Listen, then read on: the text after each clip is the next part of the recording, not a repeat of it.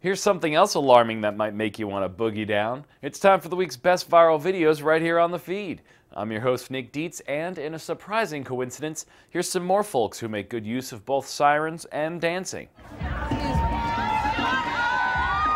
These Kansas City, Missouri police officers apprehend the attention of a crowd with a surprise flash mob.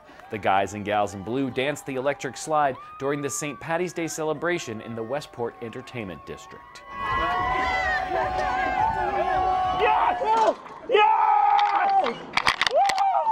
That screaming gentleman is YouTuber Tom Scott.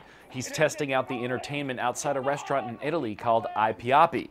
It's an all-metal theme park built over the span of 40 years by the restaurant's owner.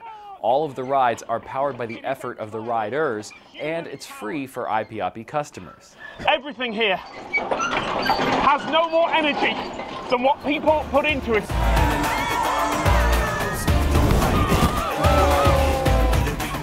Extreme video extraordinaire Devin Supertramp set out to recreate the iconic boulder chase scene from Indiana Jones.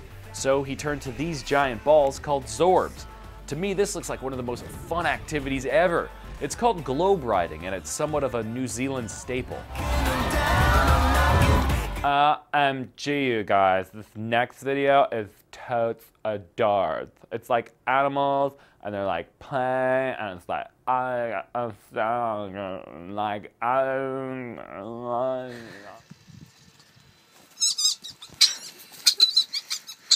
That little white fellow there is a fennec fox named Rupert. The reason he's so excited? He was just reunited with his best friend, a cat named William, at the International Primate Rescue Facilities in South Africa. So cute. That's really embarrassing.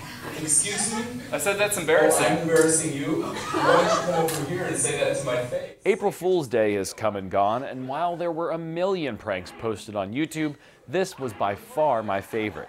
Math teacher Matthew Weathers appears to be showing a homework help video to his class that gets some trigonometry wrong. It evolves into an incredibly clever fight with an alternate version of himself on screen that everyone gets a kick out of. Well, that's it for this week. You can see all of these videos in their entirety on CBSNews.com. I'm Nick Dietz, and I'll be back in two weeks. Follow me on Twitter at ND Reports. And since there's no feed video next week, here's a bonus video of some sloths to hold you over. Thanks for watching.